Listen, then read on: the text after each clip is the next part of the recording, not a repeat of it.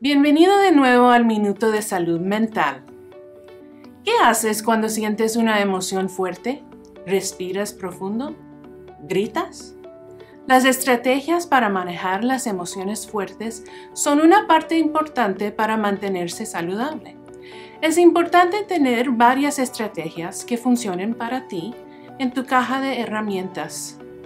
Las herramientas saludables para manejar el estrés o las emociones fuertes pueden ser una actividad física como correr lo más rápido que puedas o saltar 10 veces.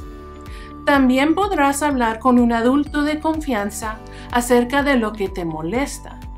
Puedes respirar profundo 5 veces o contar hasta 10 o incluso hasta 100.